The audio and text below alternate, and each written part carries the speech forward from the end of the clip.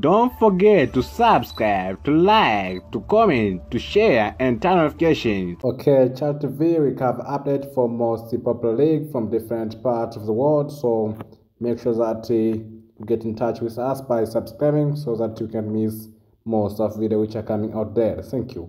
Al versus Raja Casablanca. It is all about CAF Champions League match, playoff stage. We are in a quarterfinal stage, pretty much the chance to this game on the side of uh, venue this game to play at Al Salam Stadium in Cairo, Egypt. Referee B Ismail from Sudan and of matches in the last five matches. Al managed to win in two games. No, in okay, in three games.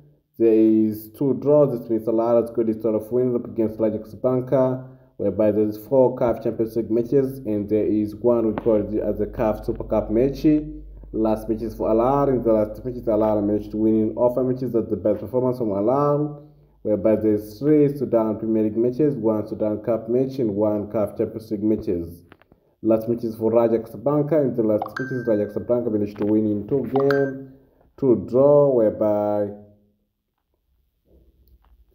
that is a good performance from Raja Casablanca, whereby there is three Botola Pro League matches, and there's one Copa Defense match, there is one CAF Champions League matches. So that's all about the Al versus Raja Casablanca. Thank you. Have a good day. Don't forget to like and comment.